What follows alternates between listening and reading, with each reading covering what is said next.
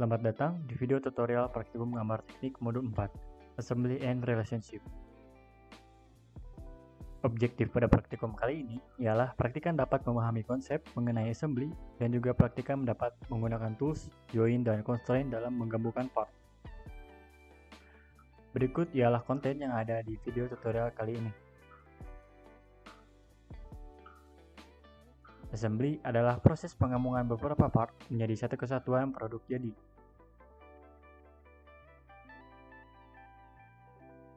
Pada Autodesk Inventor ada dua tipe dalam proses assembly, yaitu join dan constraint. Join digunakan untuk membuat hubungan antar komponen yang ada, dan join terdiri dari tujuh tipe, yaitu automatic, rigid, rotasional, slider, cylindrical, planar, dan ball. Constraint digunakan untuk membatasi kebebasan bergerak suatu part komponen yang terkait bisa berubah baik dari ukuran, ataupun bentuk saat constraint diaplikasikan. Constraint memiliki lima tipe, yaitu mate, angle, tangan, insert, dan symmetry. Setelah kalian membuka aplikasinya, kalian bisa langsung klik open, lalu buka file library kalian.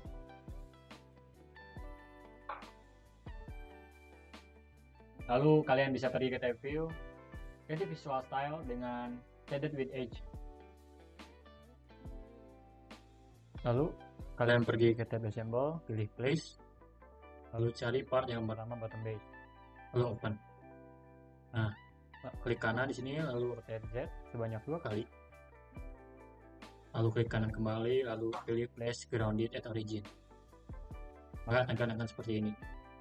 Nah, kalian langsung klik kanan, lalu klik OK.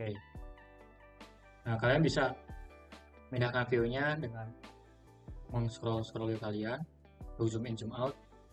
Dan jika kalian menahan shift dan menekan scroll wheel, kalian bisa merotasi partnya. Lalu jika kalian menekan scroll wheel saja, kalian akan mem- bisa memindahkan partnya ke kanan, ke kiri, ataupun ke atas bawah.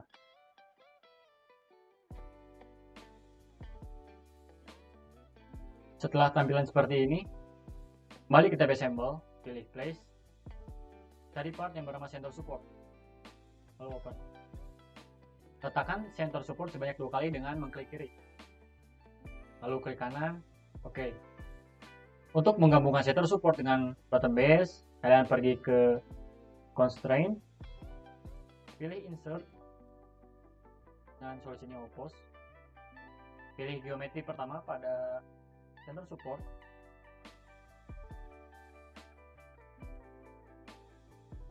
lalu masukkan center support ke lubang yang ada di button base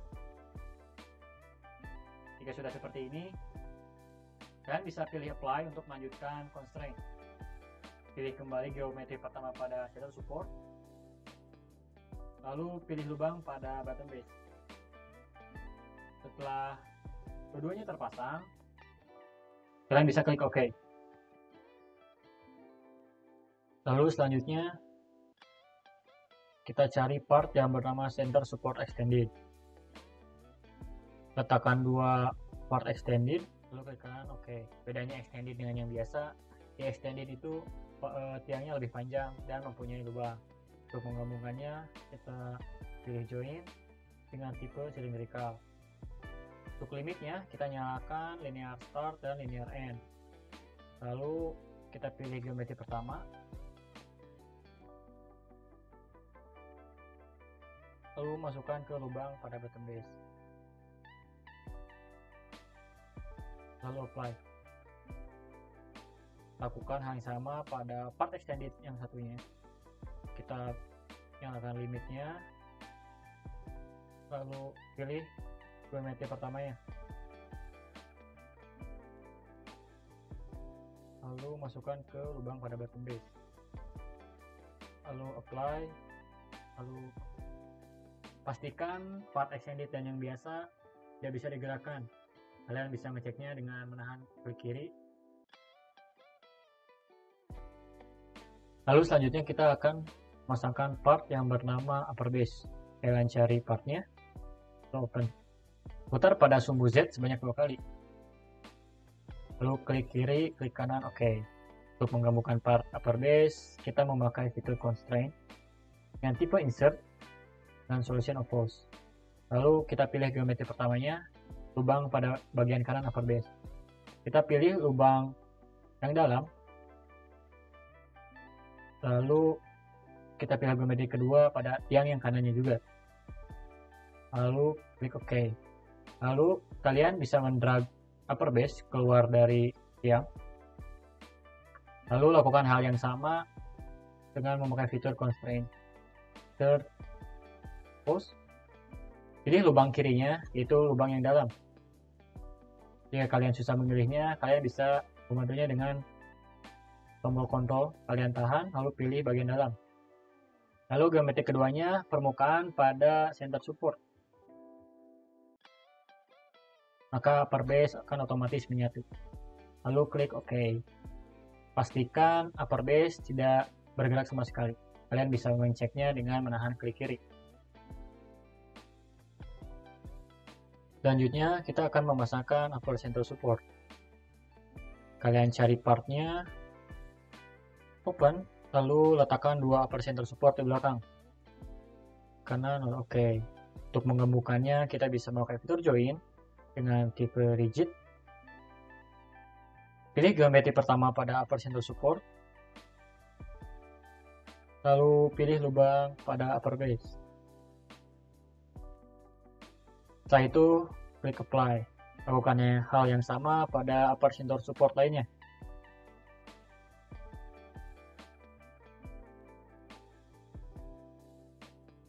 Setelah itu, oke. Okay. Lalu part selanjutnya adalah holder. Kalian cari partnya, lalu letakkan di atas upper center support. Klik kiri, klik kanan, lalu oke. Okay. Untuk menggabungkannya, kita bisa menggunakan fitur function kembali, yaitu tipe insert. Pilih permukaan lubang pada holder, lalu masukkan pada upper center support. Lalu oke. Okay. Eh, tarik holder keluar, lalu ganti view-nya ke arah kiri. Pilih konsen kembali, pilih insert, Pilih geometri lubang pada holder, lalu masukkan pada upper center support. Lalu oke. Okay. Pastikan holder sudah tidak bergerak.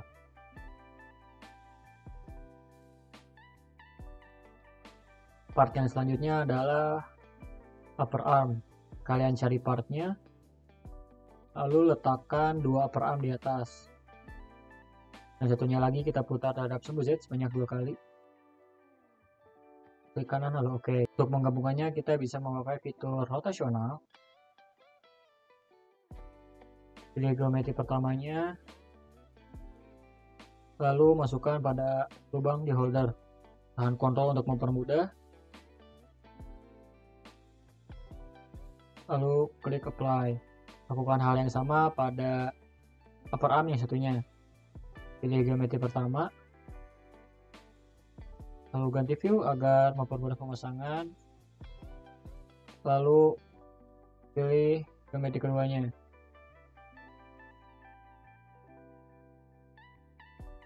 Lalu klik OK. Atur upper arm ke arah atas agar mempermudah penggabungan selanjutnya.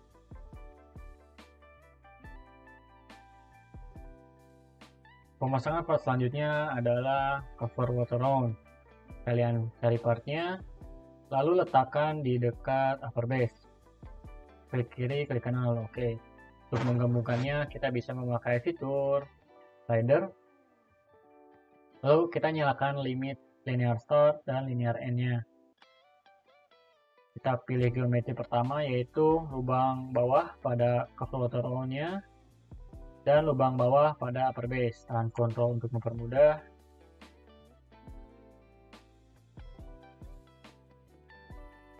lalu oke okay. pastikan cover motor on tidak bergerak selanjutnya kita akan memasangkan part yang bernama clock port filter letakkan clock port filter di dekat upper base tapi kalian harus memutarnya terhadap sembujet sebanyak tiga kali lebih dahulu. Klik kanan, oke. Okay untuk menggabungkan clockport filter kita bisa memakai fitur rotasional. Lalu untuk geometri pertamanya kita pilih lingkaran tengah. Lalu kita ganti view-nya ke arah bawah.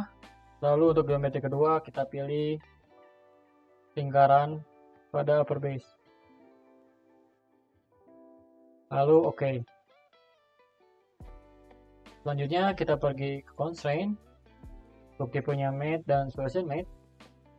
Pilih salah satu lubang pada clockport filter dan arahkan pada lubang pada upper base.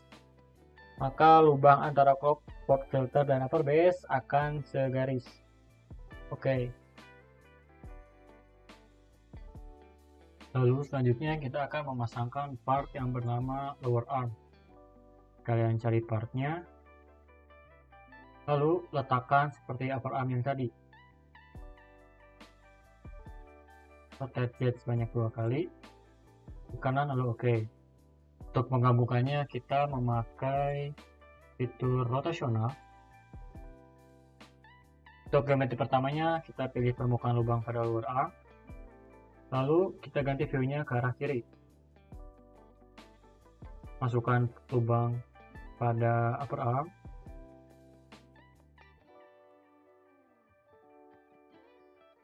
Untuk mengeluarkan si lower armnya, kita bisa memakai fitur align. Arahkan agar si lower arm mengarah keluar. Lalu klik apply. Lakukan hal yang sama pada lower arm yang satunya. Pilih geometri pertama. Lalu ganti view kembali ke arah kanan. Masukkan pada lubang per arm. Lalu untuk lainnya kita bisa pilih seperti ini. Lalu oke. Okay. maka tampilan akan seperti ini. Untuk part yang selanjutnya adalah handle connector. Letakkan handle connector di dekat per arm untuk menggabungkannya kita memakai fitur constraint. Kita pilih insert Lalu untuk geometri pertamanya yaitu lubang pada handle konektor. Lalu ubah tampilan ke sebelah kiri. Lalu pilih salah satu lubang pada upper arm. Lalu klik OK. Selanjutnya drag handle konektor ke arah bawah dan mempermudah pemasangan selanjutnya. Lalu klik constraint kembali, pilih insert, pilih lubang pada handle konektor, di tampilan ke sebelah kanan. Lalu apply. Lalu yang terakhir sama seperti sebelumnya pilih lubang pada handle konektor di tampilan ke sebelah kiri lalu masukkan handle konektor ke upper arm. Lalu oke okay. pastikan handle konektor dan upper arm saling terintegrasi part selanjutnya adalah handle. Dari part yang bernama handle lalu letakkan di dekat handle konektor untuk menggabungkannya kita memakai fitur rigid. Pilih geometri pertama pada handle lalu pilih lubang pada handle konektor agar mempermudah tahan kontrol Pilih lubang yang paling dalam. Lalu oke. Okay. Pastikan handle bisa menggerakkan semuanya.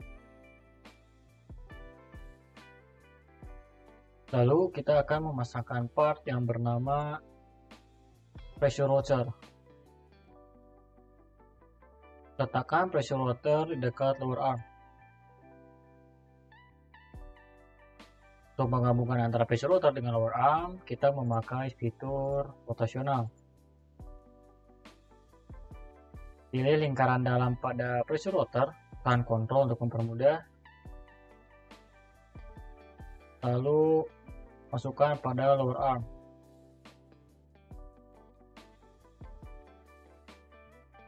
Lalu oke. Okay. Drag pressure water ke arah bawah. Lalu ganti view ke arah kiri. Lakukan hal yang sama yaitu menggabungkannya dengan fitur rotasional yang bagian dalam dari pressure water lalu pilih pan paling luar pada lower arm lalu oke okay. Maka pressure rotor dan lower arm akan terhubung pastikan pressure rotor dan lower arm saling terintegrasi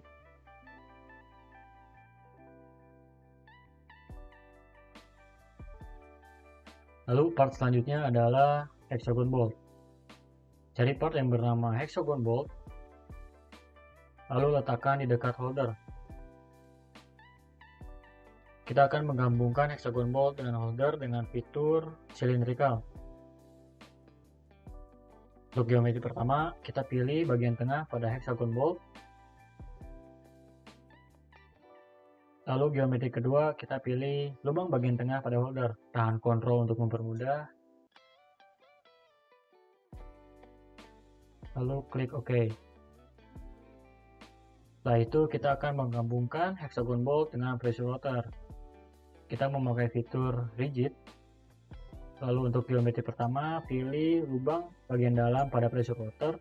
Tahan kontrol untuk mempermudah. Lalu untuk geometri keduanya kita pilih permukaan paling bawah dari hexagon bolt.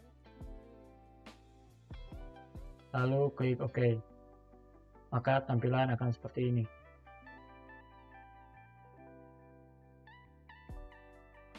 Selanjutnya kita akan memasangkan part yang bernama pressure water on. Letakkan pressure water on di dekat cover water. Untuk menggabungkan antara pressure water on dengan pressure water, kita menggunakan fitur rigid. Untuk geometri pertama, pilih lubang bagian dalam pada pressure water on. Tahan kontrol untuk mempermudah. Lalu geometri kedua kita pilih permukaan bawah pada pressure water. Lalu klik OK.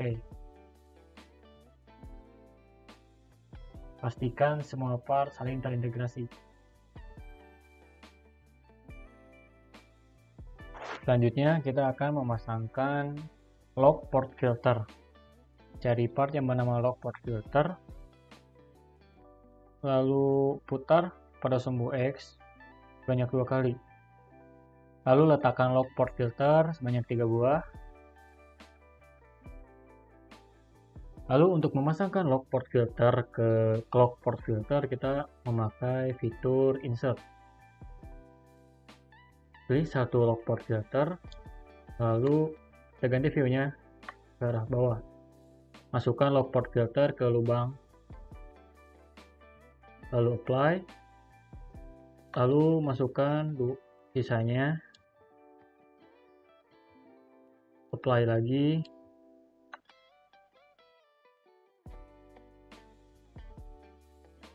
Oh, oke. Okay.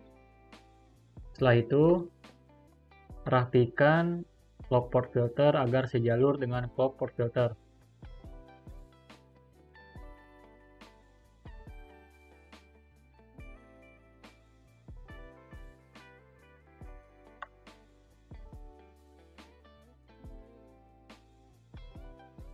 Agar lock port filter terkunci, kita memakai fitur mat.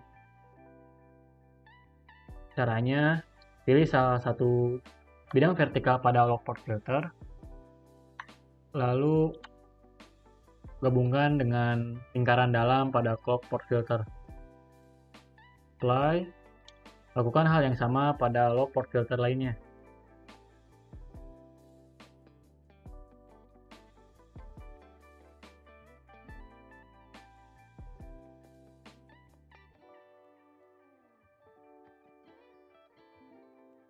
Setelah tiga-tiganya terpasang, klik OK.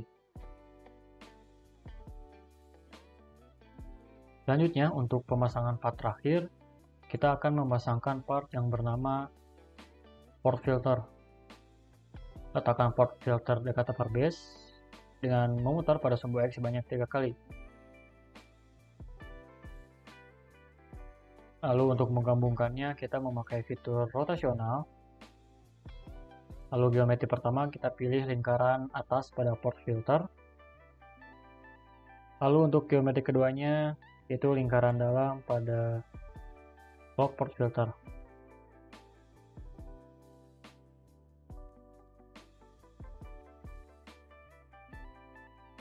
Lalu oke. Okay. Drag pegangan port filter ke arah depan. Maka tampilan akhir akan seperti ini.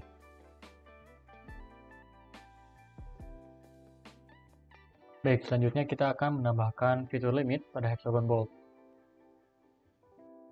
Expand part pada hexagon bolt, lalu pada fitur silindrikal, klik kanan, lalu pilih edit. Pada limit, kita nyalakan linear dan N-nya. Untuk start, kita masukkan angka yaitu min 30, dan untuk N kita masukkan 45. Lalu selanjutnya, blok semua part, klik kanan, lalu nyalakan kontak set. Pergi ke tab inspect, aktifkan activate contact solver, lalu analyze interference.